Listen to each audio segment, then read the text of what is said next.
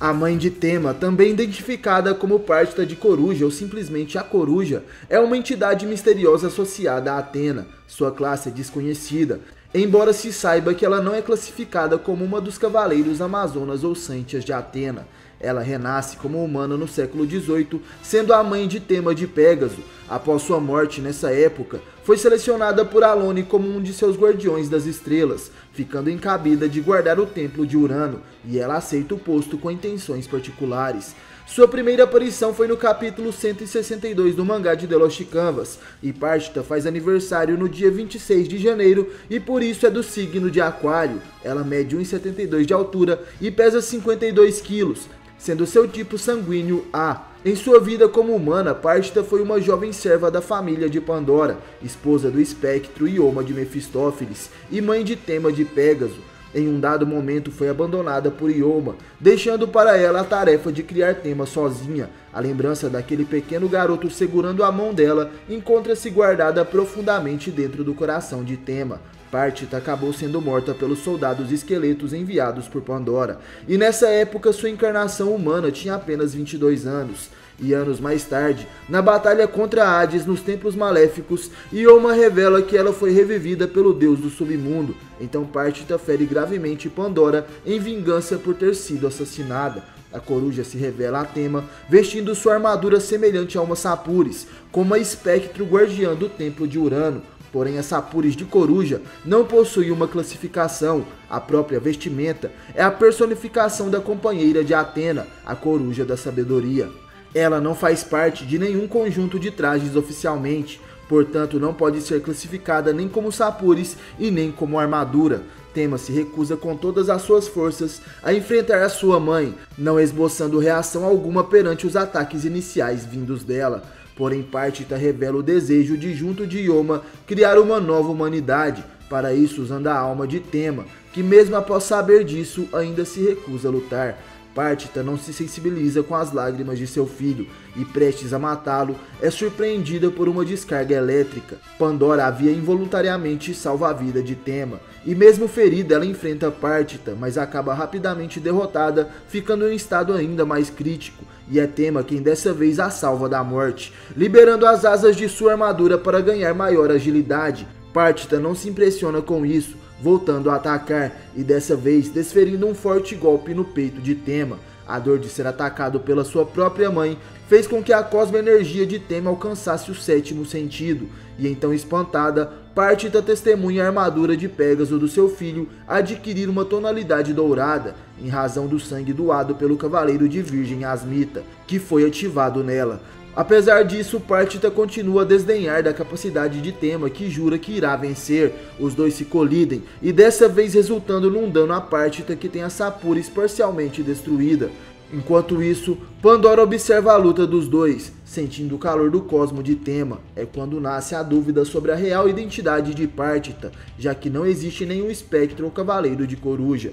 Alheios aos pensamentos de Pandora, o clímax da luta entre mãe e filho chega com Partita transformando em pedaços a revitalizada armadura de Pégaso. Paralisado, Tema fica à mercê de Partita, que começa a extrair a sua alma e arrancando-a de seu corpo. A alma de Tema adquire a forma de um Pégaso, entretanto, a alma não fica muito tempo com Partita, voltando para o corpo do cavaleiro. Sua cosmo-energia volta a crescer, estimulando os restos da armadura de Pégaso a se reconstruírem sobre uma nova forma. Uma nova armadura recobre Tema, sendo apontado por Partita como um traje divino algo próximo aos utilizados pelos doze deuses do Olimpo.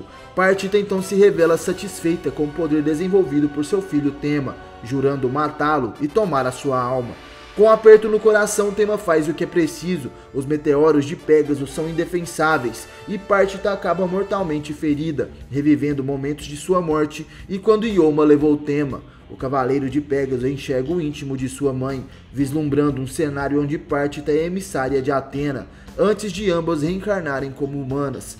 A coruja, sabendo do plano da deusa de se tornar uma humana junto de Pégaso, jura que também fará o mesmo e cuidará da alma do cavaleiro nas próximas encarnações. Finalmente a verdade é revelada. Partida se disfarçou como uma das espectros de Hades para estimular o potencial de Tema e conferir a ele a armadura divina de Pégaso. cumprindo a promessa que fez como emissária de Atena, muito antes de encarnar na Terra. Ioma de Mefistófeles, a estrela celeste da liderança ou percursão. Ele é um dos personagens da série Saint Seiya The Lost Canvas, uma história que narra uma versão da Guerra Santa de Hades contra Atena decorrida no meio do século XVIII. Ele é o pai de Tema de Pégaso e um dos grandes articuladores da Guerra Santa deste século, manipulando vários aspectos da história para cumprir seus próprios desejos. Ele é em verdade a reencarnação de Kairos, o irmão mais novo de Cronos, que foi apagado da história e obrigado a reencarnar como um humano.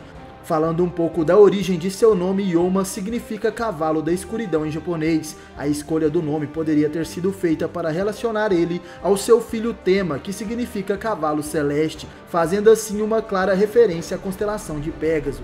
Yoma nasceu como um humano no Japão e tem 32 anos, sendo que faz aniversário no dia 31 de dezembro, tendo como signo Capricórnio. Sua altura é de 1,80m e pesando 76 kg, tendo como tipo sanguíneo B. Em suma, Yoma é como uma versão adulta de Tema, compartilha uma semelhança física com o Cavaleiro de Pégaso, só que mais velho e com uma barba por fazer. Ao contrário de outros espectros que geralmente trajam as sapures em combate, Yoma usa um terno de smoking amarrotado que sempre parece se mover de forma independente como se tivesse vida própria, e tem uma cartola também, mas quando a situação da batalha parece grave, ele revela suas sapures, mas ainda mantém a sua cartola. Como um hospedeiro de Kairos, o deus do tempo, seus olhos mudam de cor, ficando de cor magenta com a íris amarelada, e seus dentes tornam-se pontiagudos. Exteriormente, ele se apresenta como um brincalhão, falando e agindo de maneira descontraída, como um verdadeiro bobo da corte, mas não demora muito para sua máscara cair e ele revelar exatamente quem é. Um homicida, psicopata, cruel, sádico, maníaco, depravado, louco e manipulador, que não se importa com nada nem ninguém além de si mesmo. Yoma é extremamente inteligente, podendo até mesmo ser chamado de gênio, visto como ele manipulou diversos personagens astutos como Pandora e Aspros, tanto por diversão quanto para realizar seus planos. Comumente refere-se à vida como um teatro, falando como se estivesse atuando e fazendo referências a Shakespeare, de fato, o espectro é tão bom em coagir os outros a fazer o que ele quer que não vê as pessoas como seres humanos, mas sim como joguetes, personagens de um espetáculo criado apenas para sua diversão pessoal.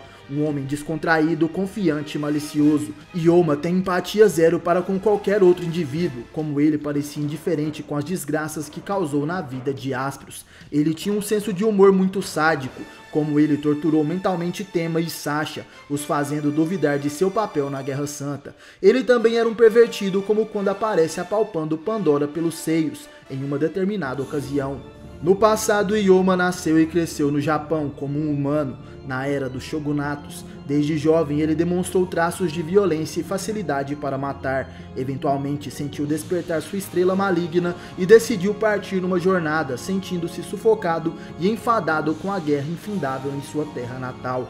Viajando num navio, ele observou certa noite o céu noturno e percebeu um cometa que cruzava a escuridão partindo da constelação de Pégaso, a alma do lendário Cavaleiro de Bronze que estava prestes a reencarnar no mundo dos vivos.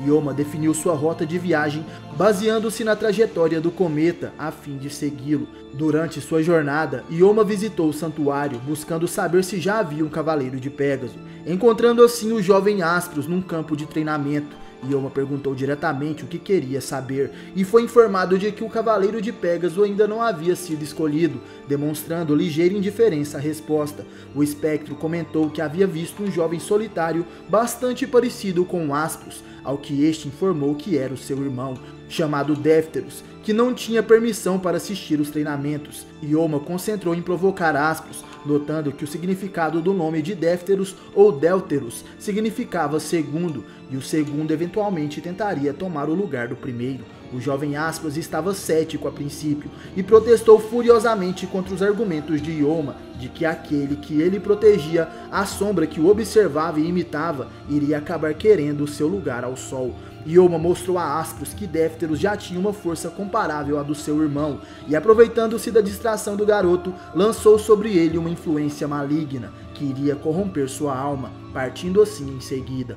O cometa levou Yoma até o castelo Reinstein, na Alemanha, o local onde as estrelas malignas que despertavam deviam se reunir.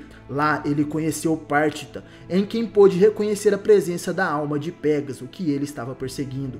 Yoma tornou-se um criado dos donos do castelo, que era da família de Pandora. Algum tempo depois, teve um filho com Partita, chamado de Tema. Pouco após o nascimento do garoto, Pandora contou a Yoma e Partita que sua mãe também teria um filho, que nasceria no dia do Natal, e os dois pareceram felizes e ansiosos. Muitos anos depois, Ioma aparece nos templos maléficos de Alone, enquanto este enfrentava Aspros de Gêmeos, sendo recebido com fria surpresa pelo jovem. Ao ver Aspros, Ioma demonstrou surpresa ao ver que ele já era um homem feito, e fez com que o cavaleiro se recordasse da ocasião no passado em que os dois se encontraram, 16 anos atrás. Percebendo que sua própria mudança de personalidade e comportamento aconteceram por conta da influência de Yoma, Astro se enfureceu e exigiu saber os motivos que levaram o espectro a interferir em sua vida. Yoma comentou que fazia o tipo que apenas observava por trás das cenas e que simplesmente desejava assistir a tragédia que se tornaria a vida dos dois gêmeos.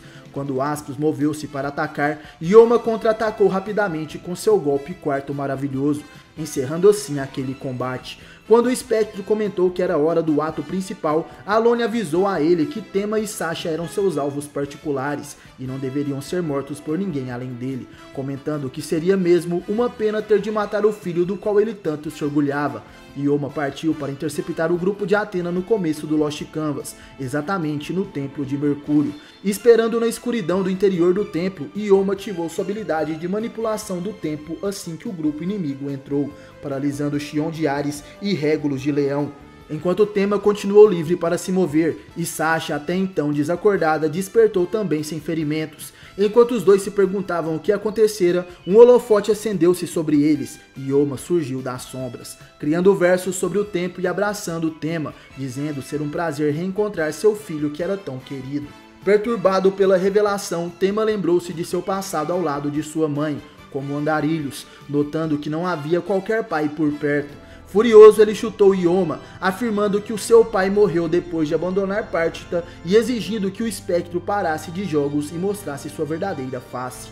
Yoma calmamente ergueu-se e disse que Tema lembrava muito a sua mãe. Através da fumaça de seu cigarro, o espectro mostrou ao filho imagens do passado, desde sua juventude, passando pela época em que Tema ainda era um bebê, pouco antes da chegada da alma de Hades ao mundo dos vivos revelando também que foi ele quem roubou a alma de Hades e a colocou no corpo de seu receptáculo, o garoto Alone. Foi ele quem arquitetou tudo para que Alone Tema e Sasha crescessem juntos na infância.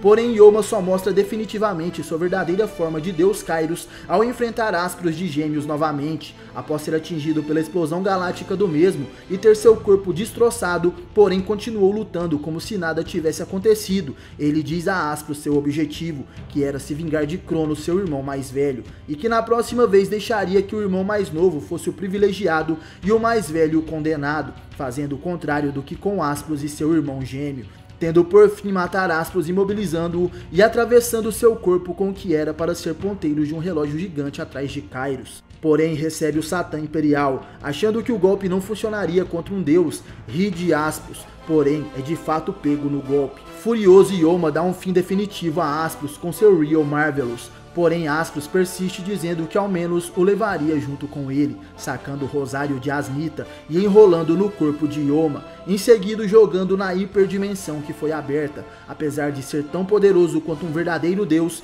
Yoma não tinha um corpo divino, sendo que na dimensão era apenas permitida a passagem de deuses. Aspros então o sela, dizendo que apenas sairia depois de pagar e se arrepender de cada pecado seu. Yoma, por último, lamenta por Partita, se arrependendo apenas do que fez com ela.